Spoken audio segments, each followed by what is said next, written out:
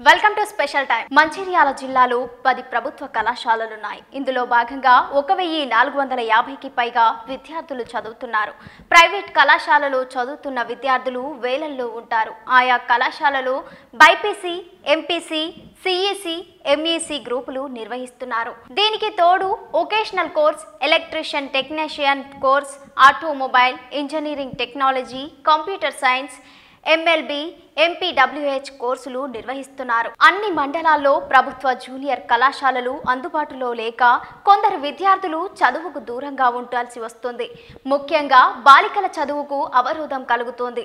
ఇలాంటి సమయంలో మండల కేంద్రాల్లో జూనియర్ కళాశాలలు ఏర్పాటు చేసి గ్రామీణ విద్యార్థులను ప్రోత్సహించేందుకు వసతి గృహాల్లో అవకాశం కల్పిస్తూ ప్రభుత్వం నిర్ణయించింది. గ్రామీణ విద్యార్థులు చదువుకునేందుకు వసతి గృహాలు దోహదం చేస్తాయి. ప్రభుత్వ కళాశాలలో చదివే విద్యార్థులకు తొలి ప్రాధాన్యత ఇచ్చి ఆ తర్వాత మిగిలిన సీట్లను ప్రైవేట్ కళాశాలలో చదివే విద్యార్థులకు కేటాయించాలి. మంచిర్యాల జిల్లాలోని బీసీ వసతి గృహాల్లో ఇందుకు విరుద్ధంగా కొనసాగుతోంది. రాజకీయ ఒత్తిడిలో ఇతరత్ర కారణాలు ఏమైనా కానీ ప్రైవేటు కళాశాల విద్యార్థులకు పెద్దపీట వేస్తున్నారనే ఆరోపణలు వినిపిస్తున్నాయి. జిల్లాలో పద్నాలుగు బీసీ వసతి గృహాలు ఉన్నాయి. ఈ లెక్కన ఒక్కో హాస్టల్లో కేవలం వంద మంది చొప్పున పద్నాలుగు వందల మందికి మాత్రమే అవకాశం ఉంది. మంచిర్యాల జిల్లా కేంద్రాల్లోని వసతి గృహాల్లో చేరే విద్యార్థుల సంఖ్య అధికంగానే ఉంటుంది.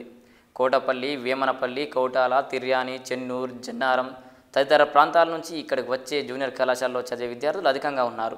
ఇందులో బీసీ విద్యార్థులు రెండు వందల మందికి పైగా చదువుతుండగా వంద మందికి అవకాశం ఉండడంతో ద్వితీయ విద్యార్థికి అవకాశం ఉంటుంది. మొదటి సంవత్సరం చదివే వారికి నిరాశే మిగులుతుందని చెప్పవచ్చు. దీంతో వంద మందికి వసతితో చోటు కల్పిస్తే మిగిలిన వారి పరిస్థితి ఏంటో తెలియకుండా పోతుంది. వసతి కల్పన విషయంలో ప్రభుత్వమే నిర్ణయం తీసుకోవాల్సి ఉంది. ప్రస్తుతం వంద మంది విద్యార్థినులకు అవకాశం ఉంది. ఇది సరిపోవటం లేదని అన్ని చోట్ల నుంచి నిర్వాహకులతో పాటు తల్లిదండ్రులు చెబుతున్నారు.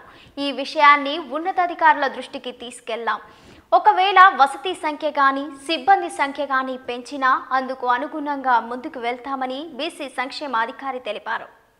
ఇది వాళ్ళ స్పెషల్ టైం. మరో స్పెషల్ టైంలో మళ్ళీ కలుద్దాం. చూస్తూనే ఉండండి టీఎస్ ట్వంటీ ఫోర్ న్యూస్. ఆత్మగౌరవ ప్రతీక.